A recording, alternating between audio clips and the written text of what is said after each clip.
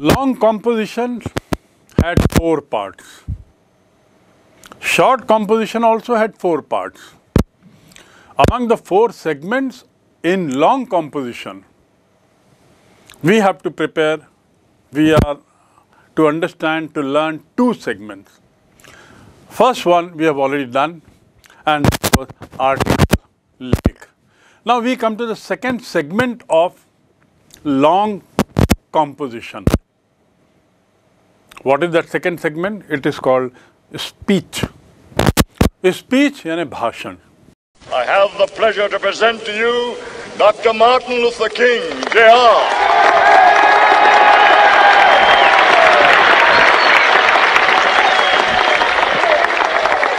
I am happy to join with you today in what will go down in history as the greatest demonstration for freedom in the history of our nation.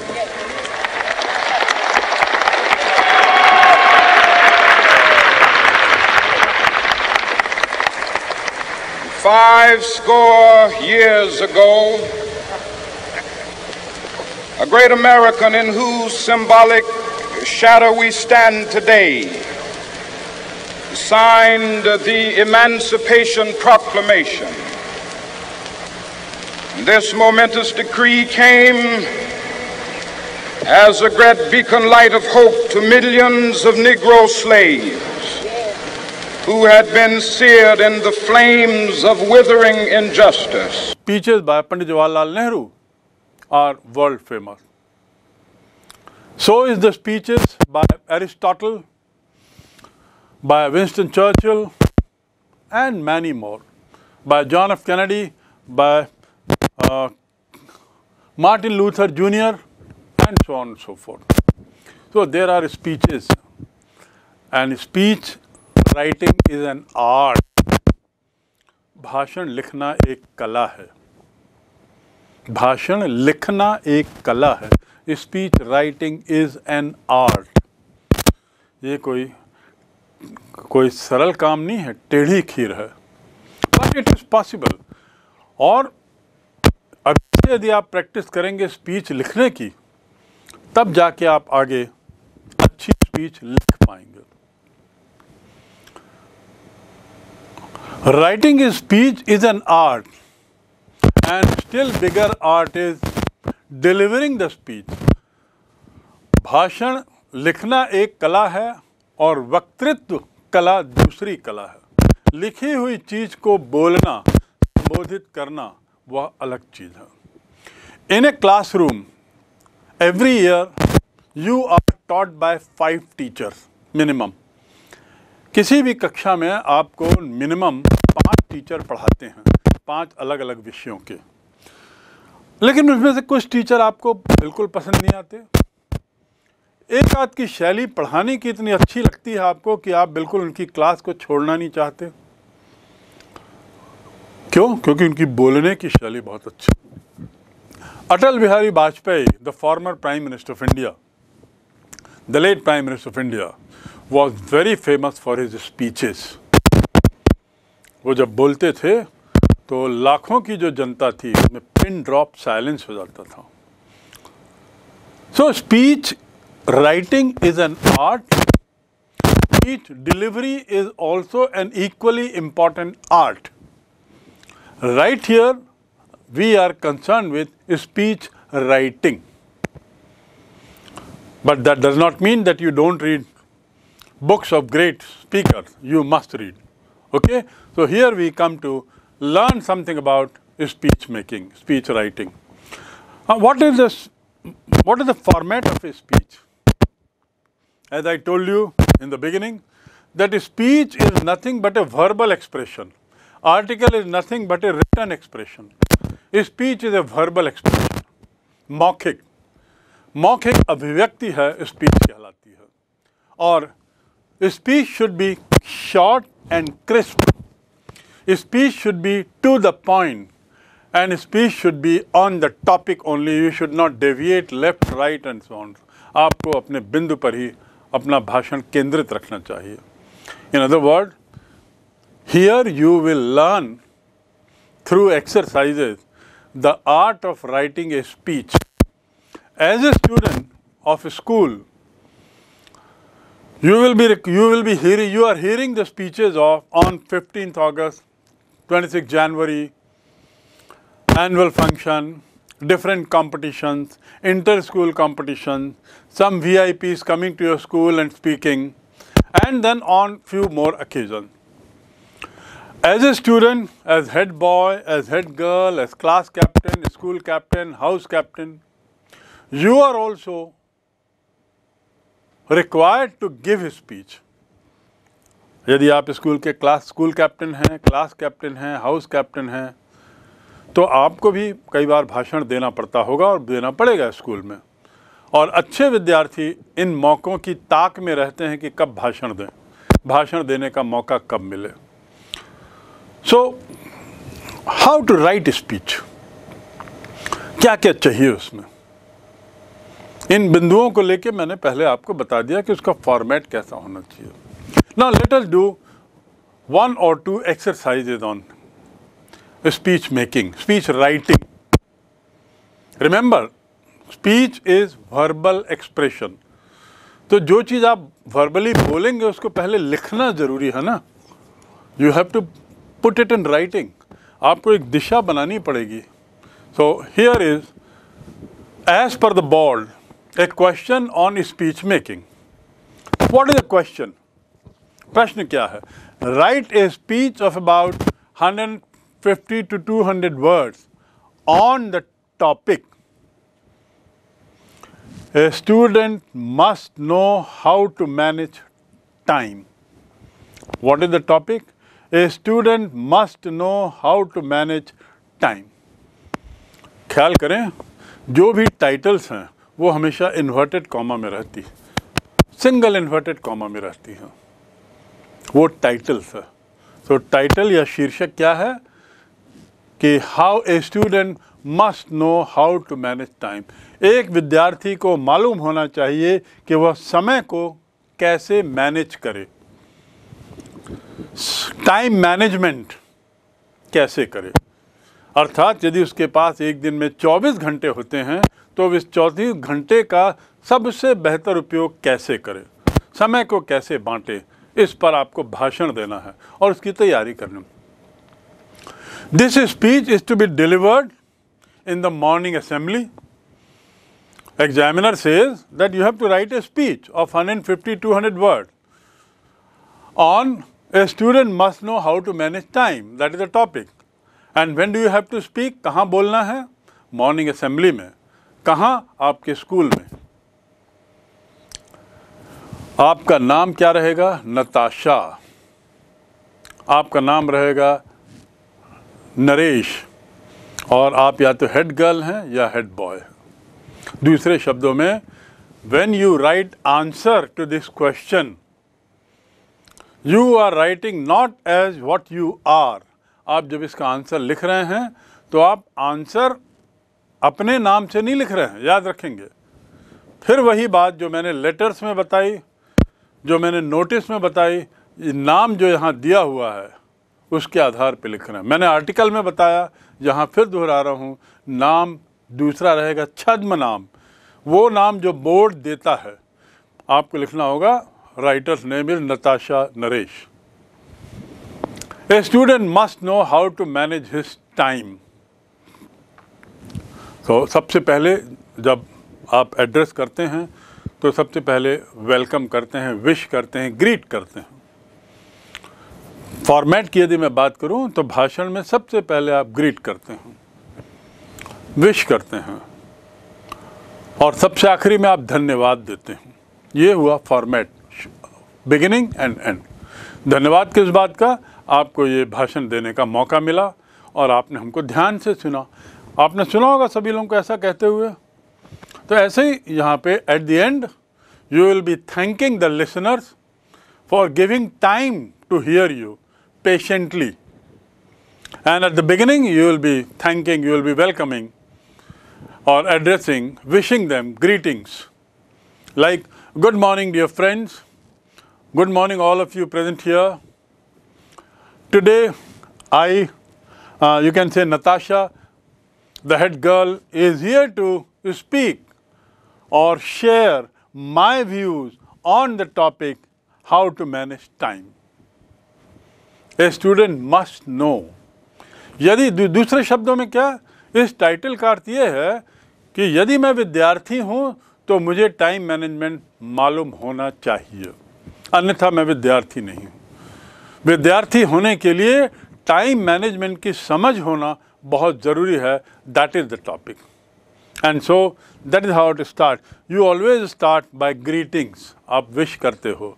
Wish करने के बाद फिर आप बताते हो कि मुझे आज जो बोलने का मौका मिला है, वो इस टॉपिक पर है और इस पर मैं मेरा जो व्यू है वो मैं आपके सामने रखूँगा। It is a well known proverb अब इसमें कुछ बिंदु बोल सकते हैं। कौन कौन से बिंदु बोलें? यदि टाइम की बात हो तो every one knows that time रुकता नहीं। तो एक आध मुहावरा उस पर बोला जा सकता है। यदि टाइम की बात हो तो आप जानते हैं कि समय बड़ा बहुमूल्य होता है। So you can say time and tide waits for none उसमें आप ये लाइन डाल सकते हैं time and tide waits for none देखिए W A I T S लिखा है।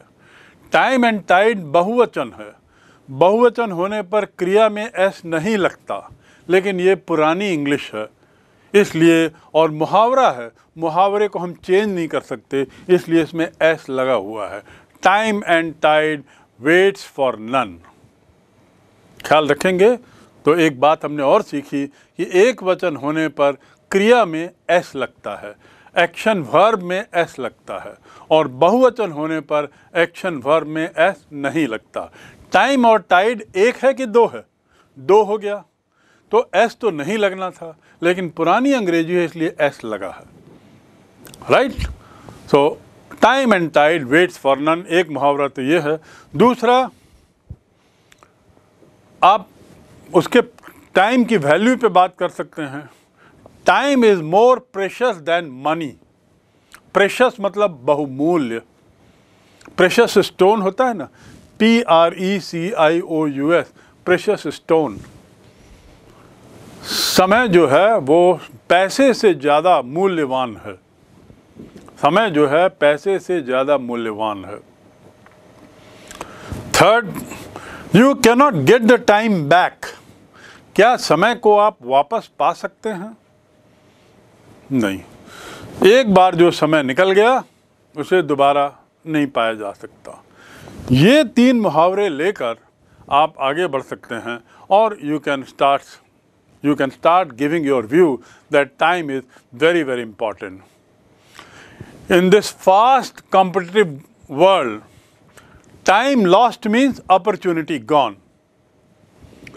ऐसी दुनिया जहाँ पे हर क्षण बदलाव हो रहा है जहाँ हर क्षण प्रतियोगिता है कट थ्रोट कंपटीशन है गला घोंट प्रतियोगिता गला घोंट को क्या बोलते हैं कट थ्रोट कंपटीशन जहाँ गला घोंट प्रतियोगिता है वहाँ पर हर क्षण बहुत मूल्यवान है। और क्षण जो निकल गया, वो हमेशा के लिए चला गया। Each of us have 24 four hours at our disposal each of us has 24 four hours us जो है बहुवचन है। अस यू एस अस मतलब हमें। We are feel us give it to us ये हमें दें। दे कॉल्ड अस उन्होंने हमें बुलाया। तो अस बहु, बहुवचन है। लेकिन उसके बाद भी यहाँ पर देखिए सिंगुलर एक जो क्रिया है उसमें each of us has twenty four hour have नहीं है। हैव एक वचन के लिए उपयोग होता है। जबकि है उसके पहले जो आया है वो है अस अस बहुवचन है। तो ये हैज़ क्यों है? हैज़ एक वचन का क्यों है? हैव क्यों नहीं है? द आंसर इज़ ईच मतलब एक। हम में से हर एक को 24 घंटे मिले हैं। हम में से सबको 24 घंटे मिले हैं, ऐसा नहीं है अनुवाद? अनुवाद क्या होता है? हम में से हर एक को। तो एक की बात हो रही है। हम सब में एक एक की बात हो रही है तो एक वचन हुआ। इसलिए आ गया each of us has twenty four hours at our disposal. Time invested wisely yields results समय का अच्छा उपयोग करेंगे तो उसके अच्छे परिणाम आएँगे। यील्ड मने प्राप्त होना, परिणाम आना। इट विल यील्ड गुड इसलिए time has to be spend carefully और इसीलिए time management is very important because time lost cannot be brought back because time is very powerful, because time and tide waits for none. So we must make our time management. We must divide our time. How? We should write. Divide our time in studies, then sleeping, then resting time, then play time, then entertainment time, and other things. But we must be honest. 24 घंटे को हम कैसे divide करें? Depending on your situation at home depending on your own determination depending on your own need you have to divide time and decide उसमें सबसे पहले आपको सोने के क्षण, सोने के घंटे देखने होंगे कि पढ़ने के घंटे देखने हैं, कि एंटरटेनमेंट के घंटे देखने आपको तय करना है you have to decide that I will give minimum eight hours per day for studies I will give 6 hours for school and 5 hours for my own study. So 6 plus 5, 11 hours gone in this. Rest of the time I will sleep for 6 hours, 3 hours for entertainment, 2 hours for food, etc. In other words, you are the one who must know how to divide time. Therefore, we should all learn time management. Properly managed time makes everything possible. यदि आपने time management ठीक रखा तो सब कुछ संभव है। Make practical time table which is possible which you can practise don't make a time table which looks very good on paper but is not possible you have to create a space for studies for your resting time for entertainment purpose for meeting friends etcetera for fooding and also for hobbies and maybe few other things in the day. 24 घंटे को इतने में बांटना है If we learn to manage our time properly. Now remember, this is a speech being delivered by Natasha to school children in the morning assembly. That means what? How long can a assembly be? Assembly has national anthem, assembly has school prayer, assembly also has few other things. Assembly has activities also and assembly also includes the time of coming from the class and going to the class. So I think in an assembly, Natasha would be getting about three minutes of time to speak. Now in three minutes you have to speak 150 words or maybe 200, not more than that. So what all you have to say has to be very crisp. Having said all this, the end of the, you can also say at the end that if we follow time management, the advantages are we are able to achieve our goals for the day. We are able to do our things in an organized way. We are able to satisfy our mind, our body, and our soul, all three. Because mind for mind, we have certain things. For our body, we have games and play. For our soul, also, we have certain time for prayers, etc. And last but not the least, if we organize well, then at the end of the day, it gives us satisfaction, self-satisfaction. यदि हम time management को करें so Natasha says that it gives us satisfaction. We will be, uh, we will go to our bed happily without any worry and enjoy a blissful sleep. एक बहुत अच्छी नींद का आनंद ले सकते हैं यदि हम अपना टाइम मैनेजमेंट को फॉलो करें। पहली बात तो टाइम मैनेजमेंट ठीक बनाओ। दूसरी बात, यदि बना लिया तो उसको ठीक से लागू करो। और तीसरी बात, यदि लागू कर लिया तो करना चाहिए then you will have a blissful आनंदमयी नींद आएगी। And you will be free from worries आपके मन में तनाव नहीं रहेगा। ये जो आजकल जो तनाव को लेकर बहुत सी हत्याएँ, आत्महत्याएँ हो रही हैं, तनाव को लेकर जो डिप्रेशन आ रहा है, तनाव को लेकर जो बहुत सारी मानसिक समस्याएँ आ रही हैं, पारिवारिक समस्याएँ आ रही हैं most of it is because we are not managing time time management will also help you in keeping yourself away from things like mobile and TV यदि आपने टाइम मैनेजमेंट ठीक ठाक बनाया, उसमें भी आप लिखिए आधे घंटे के लिए मोबाइल पे बैठना जिसमें आपको यूट्यूब देखना है सोशल मीडिया देखना है, जो भी देखना write down mention it and do sit with mobile for half an hour. But time management should also help you to say that you should not sit for more than half an hour. आपने अपने से वादा किया time management is like a promise to yourself So Natasha in her speech says that time management is a promise that you make to yourself. A person who doesn't value time always lags behind and ends up in frustration, in everything is messed up in life. And finally, if time management is bad, the real results are bad. Bad results can bring lot of chaos.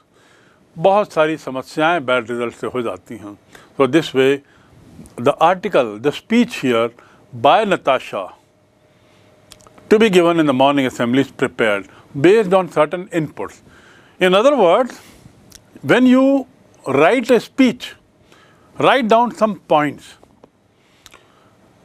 Write down some points. What are the points you want to include? Some two, three key sentences, some two, three facts, some two, three issues, and thereafter solutions. So, that makes it about 120 to 150 words, and with that, speech gets to an end. So this is an example of a speech that we had. Now we come to the second and last example on speech making, speech writing. As I told you in the beginning, that speech writing and article writing cannot be learned and understood in one day. It is a little long process. And most important is that you must have enough words. You must be a good reader of English language. You must love to read English books. Now, what to read? Read your own course books. You don't have to look for books other than your own book. If you read your own books in English, the advantages are number one, you are reading a book you are familiar with.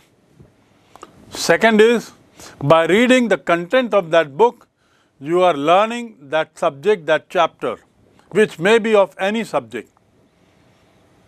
Third, you are learning words which are connected to you by reading that book.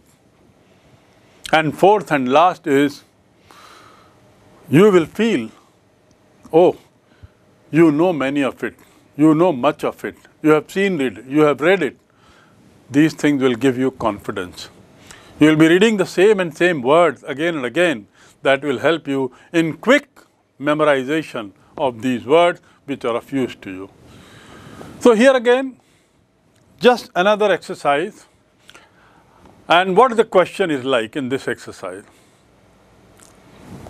Question. Read the question carefully. You are Ajay or Anu, if a girl. You are Ajay oblique Anu. If you are a girl, then you will write Anu head girl. If you are a boy, you will write Ajay head boy. Of Kendriya Vidyalaya Kanpur, the examiner himself has given your address. So you are head boy, head girl, depending on your own this thing, whether you are a girl or a boy, and you have seen some student littering the school compound and veranda with tiffin leftovers. Littering, to litter matlab फैलाना L I double T E R litter. Don't litter your room with waste paper. Don't litter your room with waste paper. अपने कमरे में कचरा मत फैलाओ My house is littered with All waste items waste clothes मेरा जो घर है, बेकार कपड़ों से फैला हुआ है अस्त व्यस्त है लिटर्ड विथ लिटर के बाद हमेशा याद रखेंगे विथ आता है। So the examiner say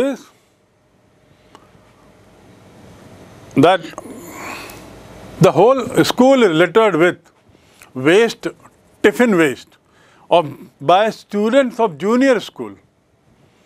Junior class के जो बच्चे हैं they are littering the school compound and veranda with tiffin leftovers leftovers मतलब बचा खुचा.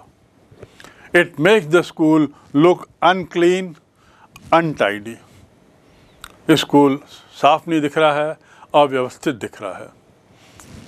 Write a speech who is writing a speech Natasha sorry, Ajay or Anu. Write a speech to be delivered in the morning assembly again, advising such student to keep the school neat and clean. That means this speech is in the form of an advice. Advice to whom? To the children of junior classes. Advice by whom? By the head boy or the head girl. Where? In the school. Time Morning assembly. What can be the speech like? यदि ये background है तो speech कैसी होगी I am addressing to the junior student head boy head girl is addressing junior and what is the title of this keeping the school neat and clean that is the answer because it is a morning assembly head boy head girl thinks that principal is also standing the staff are also there the teachers are also there and of course the students are always there. So how she addresses salutation. This address is called salutation. How she addresses. Respected principal teachers and my dear friends. And then starts her speech or his speech. What are the points which are to be included in this? First of all what does she see school में उसको क्या दिख रहा है? उसके बारे में बोलेगा। स्कूल में पूरा कचरा दिखाई दे रहा है। ऐसा लग रहा है सब तरफ़ कचरा फैला हुआ है। तुम लोगों को कैसा लगता है ऐसे कचरे में? ऐसा क्या सोचते हो तुम लोग इसके बारे में? क्या अजीब नहीं लगता? फिर वो खुद ही पूछती है कि तुमको लगता है कि मैं कुछ अजीब सवाल कर रही हूँ? एक्चुअली मैं तो बात कर रही हूँ सफ़ाई के बारे में। आप बगीचे में जाओ तो चारों तरफ़ कचरा है and so on so it start saying how how does it feel to pass by garbage dump yard to pass by pass by मतलब बाजू से जाना। ये एक शब्द है, एक फ्रेज है पास बाई जस्ट पास नहीं है। तो how do you feel passing by me मेरे बाजू से जाने में तुम्हें कैसा लगता है? Right he passed by a bus a truck passed by him उसके बाजू से एक ट्रक निकल गया। So pass by so how do you feel passing by a waste garbage dump garbage मतलब कचरा। Waste garbage G A R B A G and how does it feel to stroll in a garden और हमारे garden में घूमने में कैसा लगता है? तुमको लग रहा होगा मैं कैसा सवाल पूछ रहा हूँ। Now you feel what question weird question I am talking about no one would despise taking a stroll in the garden किसी को भी नफरत नहीं होगी गार्डन से जाने की। बट जहाँ तक गार्बेज से निकलने का सवाल है no one would like to pass by garbage garbage dump yard you one would rather avoid looking towards it one would press his nose while passing by the garbage. And so you must be thinking, why I presented you with such a contrast. मैंने ऐसा contrast आपको क्यों बताया है? Contrast मतलब विरोधी बात। कौन सी विरोधी बात? एक गार्डन की और गार्डन बनाम गार्बेज की। तो मैं क्यों कर रही हूँ ये तुम सोच रहे होगे? ऐसा कह के उसने भूमिका बांधी। In other word in a speech you can start with some kind of introduction some kind of background. Right in the beginning, she never said that I am here to talk about cleanliness. Another way of giving a speech is first you just go on touching the minds of people, the listener, and then tell them what you are talking about. उनसे पूछो कि मैं किसके बारे में बात कर रही हूँ आपको समझ में आया So her speech is like that, where then she says, I presented to you such a contrasting fr- friends, it was just to differentiate between a clean and an unclean atmosphere and an unclean surrounding. साफ़ और गंदे माहौल के बीच की तुलना मैं करना चाह रही थी आई अब तो ये उसने बता दिया कि साफ़ और गंदे माहौल के बारे में क्या चिंता है उसकी देन टॉपिक क्या है क्वेश्चन क्या है क्वेश्चन में लिखा हुआ है जूनियर बच्चों के द्वारा वेस्ट लेफ़्ट ओवर लिटर किया जा रहा है फैलाया जा रहा है। लेफ़्ट ओवर मतलब जूठा खाना बचा हुआ फैलाया जा रहा है। कहाँ? वेरेंडा में और स्कूल में चारों तरफ़। नाउ द हेड गर्ल और head boy speak that friends I often find the students of junior classes littering the school compound with tiffin leftovers and torn pages, pencil scraps etc. Junior school के बच्चे बचा खुचा खाना फेंक देते हैं, चावल के टुकड़े, दाने, रोटी के टुकड़े।